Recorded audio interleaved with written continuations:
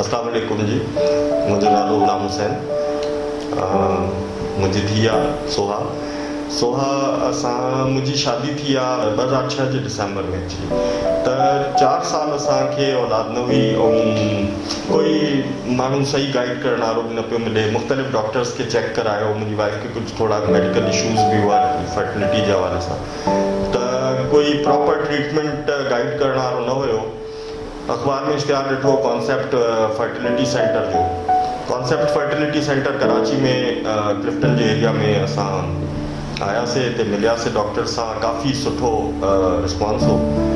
۽ Treatment به ڏاڍي بهتر طريقي سان ٿي. هن کان پوءِ جيڪو آپشن مليو اهو اهو هيو ڪه توهان کي جيڪو آهي فردر جيڪو آهي هن جي لاءِ ٽيسٽ ٽيوب يا جيڪي توهان اڪسي چوندا اهو ٽريٽمينٽ ڪرڻو پوندو ماڻهن کي ايترازات هوندا آهن بهرحال اسان کي ته پنهنجو فيوچر سمجهه ۾ اهو آيو ڪه اسان کي اولاد ضروري آهي ته اسان هنن تي ٽرسٽ ڪيو ۽ ان جو اهو نتيجو هيو ڪه اسان جو ٿورو گهڻي ٽريٽمينٽ کان پوءِ جيڪو آهي سٺو رسپانس پيو اچي ڊاڪٽر به مطمئن هئا ۽ اسان هن طريقي کي آپٽ ڪيوسين ۽ ان ئي جي وجهه سان ان ٽريٽمينٽ جي ڪري اسان کي جيڪو آهي اهو ٽيسٽ رزلٽ پازيٽو آيو.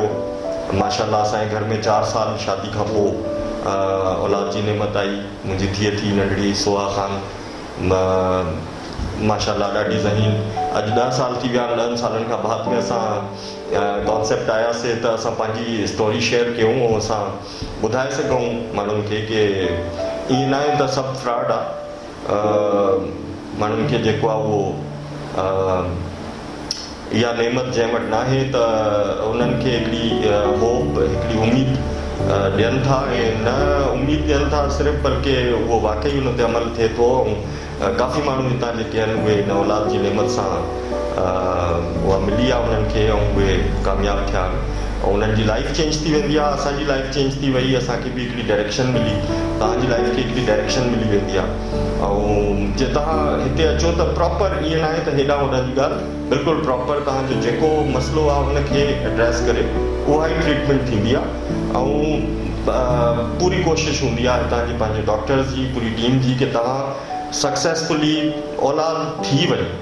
هاڻي اهو الله جو نصيب آهي اها توهان الله جي ڳالهه هوندي آهي پر هنن جي وڌ ۾ ڪوشش هوندي آهي ڪه توهان کي اولاد ٿئي. ۽ توهان इहा नेमत इंजॉय कयो लाइफ में जीअं ॿियनि खे आहे, त तव्हां ॿियो न रहो। त प्रॉपर जॻह आहे हेॾे होॾे तव्हांखे ॿिए जॻहियुनि ते वञण जे बजाए कोशिशि करणु घुरिजे।